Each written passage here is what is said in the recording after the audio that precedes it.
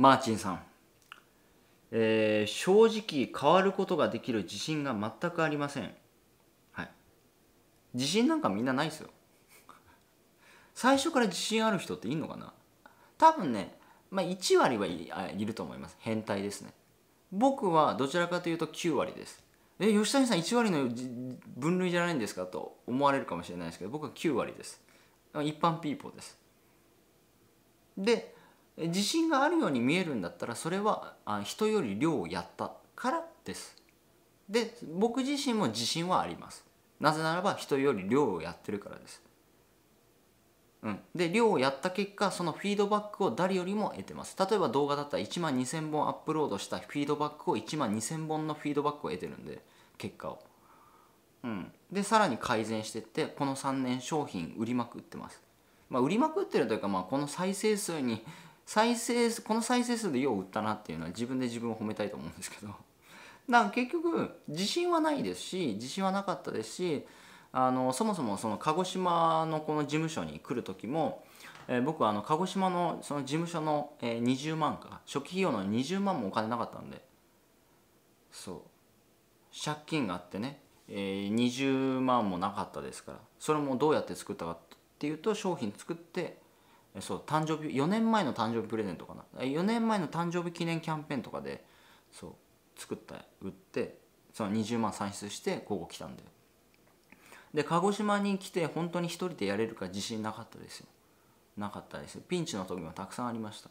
だけどそれを3年乗り切った結果まあある程度やっぱ自信になりましたね。でこれからも多分いろんなことあると思うんですけどやっぱそれはとにかくやるっていうことで僕は乗り切ってきたんでもし1の、えー、なんか、壁が出たら100やるみたいな。1の壁が来ても100やればなんとかその壁乗り越えられるんじゃないかなみたいな。それは経験からですよね。だから経験してないから自信がないんですよ。自信ってどっから出てくるかっていうと経験からしか自信出てこないと思うんですね。これだけ経験したこれだけやっただから自信がつく。うん。最初から自信がある人っていうのはいないですよほとんど多分。だって経験もないしやったこともないし。本当に大丈夫かなって話なんで。だから結局それそれは自信があるとかどう自信があるとか、うん、そういうのは問題ではなくて自分がどうしたいのかが全てです。自分はどれだけかどれぐらい稼ぎたいのかが全てでどれ自分はどどどういう将来になりたいのかが全てだと思います。そこに向かって邁進するしかないんで。うん。だから月収100万取りたいんだったら月収100万稼ぐための行動量をやればいいだけなんですよ。まずは。最低限ですよね。あとは質ですよね。量からしか質は生まれないですから。100万稼ぎたいんだったら100万稼ぐだけの例えばリアルの仕事だったら100万稼ぐげる仕事ってリアルでもあると思うんですよ。例えばインセンティブをもらえる営業マンとか。インセンティブもらえる営業マンとかでも100万いける人いると思うんですけど。じゃあ100万インセンティブもらってる人営業マンっていうのはじゃあインセンティブ全くゼロの人に比べると、えー量もやってきただろうし量をやった結果質が上がって、えーなんだ、えークロージング率が上がったりとかしてるだろうし、うん、単純にもう量をやった人だけですよ本当にここは。うん、全く量をやってずにややらずに成功してる人っていうのは天才しかいないと思います。うん、でその量に関しては人それぞれ、えー変わります。うん、だからちょっとやってできる人もいればたくさんやってできる人もいるんでそれは人ここで違います。うん、だからまあ稼ぎたい分だけやるただそれだけですよね。どれぐらい稼ぐのっていう。であとは稼いだお金を、えー投資に回したりとか金利の方に回したりすればお金を使ってお金を増やすことができるんで。うんそうそうだからモチベーションとか関係ないですよ。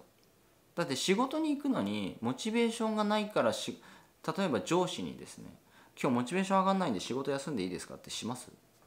すいません社長今日モチベーション全然上がんないんで会社休んでいいですか？みたいな。多分ないですよね。モチベーションとか関係なく仕事行ってません？うわだからサザエさん病みたいな。うわ明日から仕事だ。うわやだな。休み明け会社行きたくないなでも行くじゃないですか。モチベーション関係ないですよね。モチベーションは全く関係ないです。本当に。モチベーションがあるからできるのかモチベーションがないからできないのか関係ないです。